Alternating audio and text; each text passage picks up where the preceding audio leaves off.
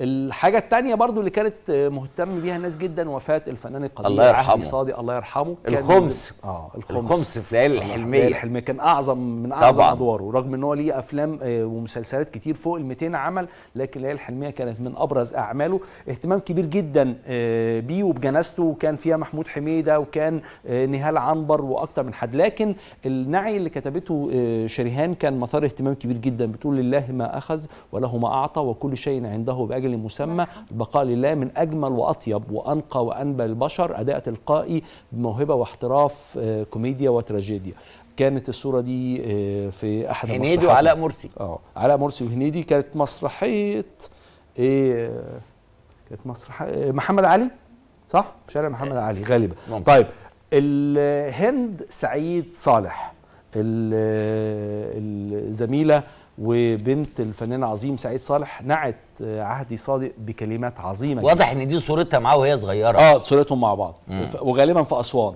بتقول هي بتحكي يعني في يوم ف- من يوم ما فتحت عيني على الدنيا ما أعرفش غيره توأم روح لبابا. مش صاحب مش أخ لا توأم روح. شفته في بيتنا أكتر ما شفته بره البيت. وبتقول إن من يوم وفاة آه، بابا والدها يعني سعيد صالح وظروفه مش طبيعية وآخر مرة كانت بتكلمه تقول له عدى عليك فقال لها تعدي عليا سعيد هيعدي عليا. فسكتت شوية وسألته سعيد مين؟ فقالت لها سعيد صالح. قال لها سعيد صالح يا غلبوية ويعني كانت واضح إن هو كان آه، ظروفه الصحية مش في أفضل أحوالها في آخر أيامه. ربنا يرحمه كان من الله الفنانين. العظام جدا جدا.